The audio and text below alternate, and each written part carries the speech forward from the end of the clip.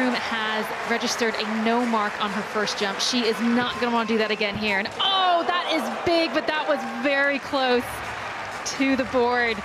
I mean, she looks confident. I feel like she's quite confident there that she that has been a valid jump. And if that is, that just might take the lead from Deborah Acquah of Ghana. Oh, one centimeter.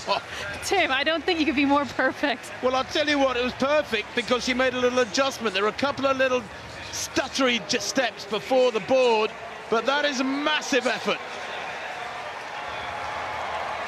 That is, in fact, a new Commonwealth Games record at 6 meters and 99. Will we see a 7 meter jump tonight?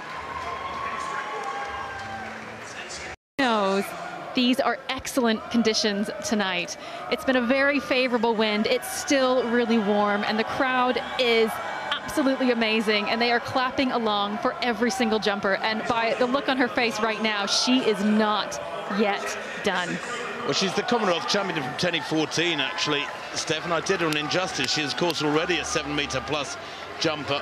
It wouldn't be nice to uh, finish with a flourish. Everyone in the stadium is clapping in unison. Can she get that extra centimeter?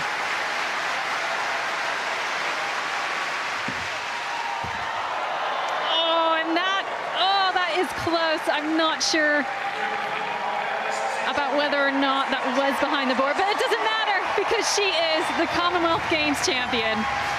As Tim said, she won it in 2014 as an eight-year-old. She, as an eight, as an 18-year-old. oh, eight-year-old, that would be impressive.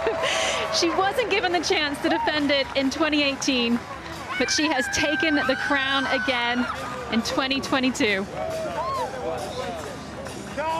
And we have another Nigerian woman standing on top of the podium.